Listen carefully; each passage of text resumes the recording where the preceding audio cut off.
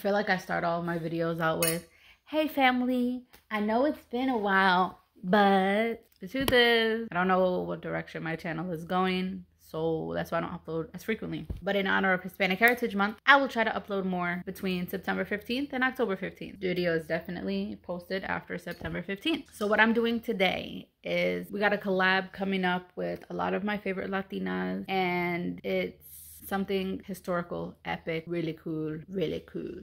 I was looking up stuff on some information on my Taino heritage, you know, being Puerto Rican, just learning my people a little more. I reached out to some people. My friend Jeanette, who does amazing woodwork. I will put her Instagram handle and her Facebook page and that stuff below in the description because she's amazing and she really helped me. We had a good talk. I love her. Fellow Boricua. She sent me a picture of her Taino dress that she had made, but also she had mentioned how you're supposed to use macaw feathers. So that being said, today you will see my process on how I go or how I hopefully execute this properly. I will also attach pictures somewhere on the screen and credit whoever inspired me or whoever did it because we need to share more. We need to get talking about this stuff more. We need to explore this together more. This is our culture for our people, for our children, for our future and our future and our future, whatever. Our futures, futures, all, all of that. So uh, that being said, I'm not any kind of professional. Uh, I'm learning. so take it easy on me. That being said, I'm starting with this Christmas ribbon because I already had it at home and I can paint it. I didn't need to buy more ribbon. So I'm going to make this white and these kind of more brown paint to get like a straw type color. And I'm just gonna paint this. But actually before I paint this I am going to measure my head. That way I have enough enough like space to work with. And then once I've got my like desired length I'm gonna cut that and then that's what I'm gonna paint. So stay tuned. Oh not only will you be seeing the whole process of my headdress you'll be seeing the whole process of my actual outfit. And obviously I'm gonna tell you where I got things too 90% of the stuff is from Amazon. It's not authentic at least I don't think. Well actually the only only thing that would be authentic is these necklaces. I don't even know if they're authentic, but I got them on Amazon. They're really cute, actually. Bear with me. Take it easy on me. So now I just wanted to pop in and say I cut two strings and I'm going to tape, tape. I'm going to paint them both because if one is decent, successful, I might make my kid a headdress. Oh, you can see my Selena t-shirt. So I have this Amazon box and I'm just going to, because I don't feel like going to the table, put them on this box and I'm going to paint this stuff on the box.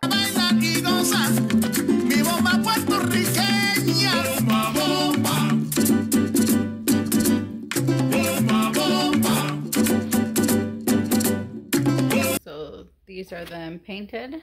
Hopefully you don't see the snowflakes through that and it dries fine. I'm gonna come back when they're dry to show you them. So I realized that I didn't show you guys any of my um, stuff that I'm using to do this. So I thought I'd do that now while those strings dry. So I have glue sticks, glue gun.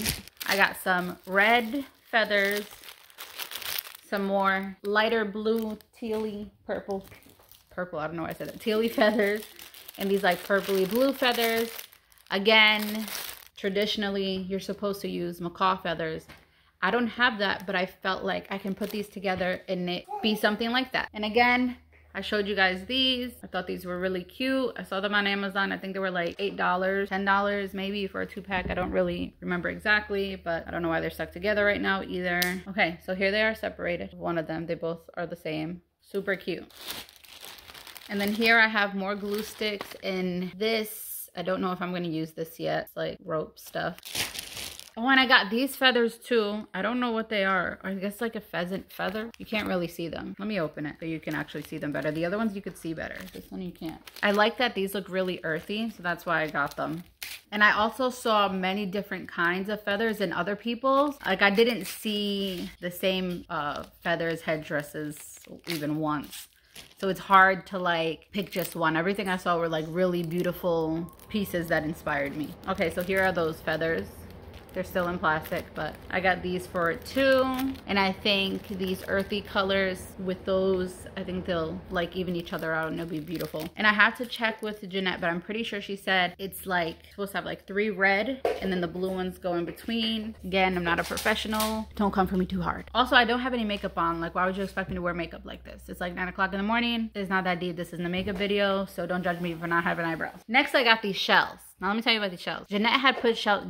I'm super inspired by Jeanette. Clearly, Jeanette um had put shells on hers. I believe. I believe it was I think she'd put shells on hers. But the shells that I thought I ordered were bigger shells, but look how little they are. And that's gonna go like on the band. So I'm gonna glue the hot, I have a, hot, my hot glue gun. I'm going to glue the feathers on the um, rope. I was about to call it a rope. On the ribbon I'm going to hot glue the feathers to the ribbon so I can wrap it around and tie it. And then on top of the feathers on the bottom on the band, on the ribbon, I'm going to glue these little guys. And then for my outfits, this is also another controversial topic. There's so many different Tainos that have different opinions on what they wore. To my knowledge prior to this, I thought we were just nudist, like the women were topless and it was just like a little white loincloth. Again, still doing my research, don't come for me. So obviously I'm not gonna be here topless Jeanette used a really pretty white dress that she found. I looked on Amazon and I found this two piece. It's like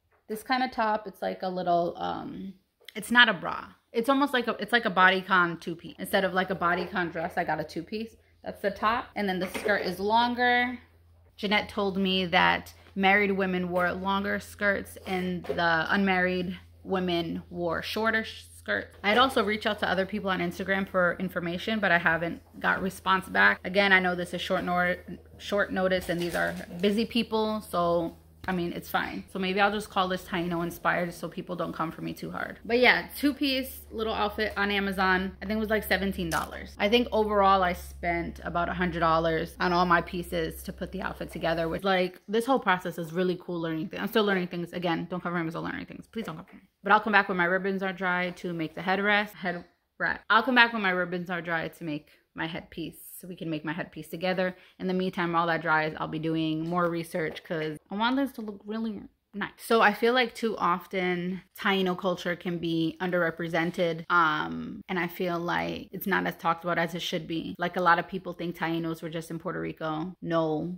Um, or just in, you know, Latin, Caribbean uh countries. No, not true. The Tainos were in Jamaica, Haiti. When I see a lot of people make videos, you know, representing their Puerto Rican culture, I'm gonna stick to Puerto Rican because I don't know all the islands. I'm not a professional here. When I see a lot of people represent Puerto Rican culture, you see the, you know, lots of bomba, you know, the plena dresses. That's beautiful, but I feel like we we know that part more than the Taino, and I feel like the Taino part is underrepresented. And maybe this is why, because there's not a lot of information, or there's lots of misinformation, or there's a million people who are professionals and saying that they're professionals, and they all have different viewpoints on it. So it's tough, you know. I feel like we got to come together as one people and you know put our heads together to make this great and known and share what we have and what we find with our people. How can we properly appreciate our culture if we are not learning about it consistently? If we are not actively seeking to know more? Also, how can we actively, you know, search and learn more if we're not given the tools? There's a lot of people who who know many things and that's a beautiful thing, but if we don't share those those things that we know with people, you know, just something simple like this like where to find somebody who make uh, Taino headdresses or, you know, traditional clothing and stuff.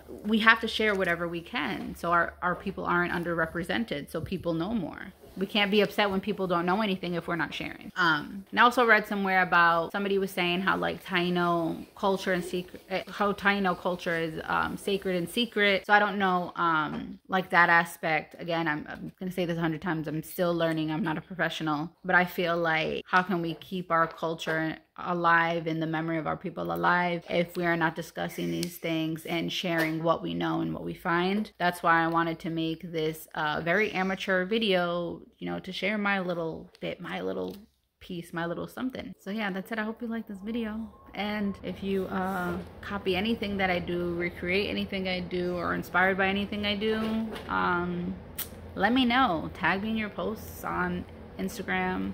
Uh, yeah, thank you.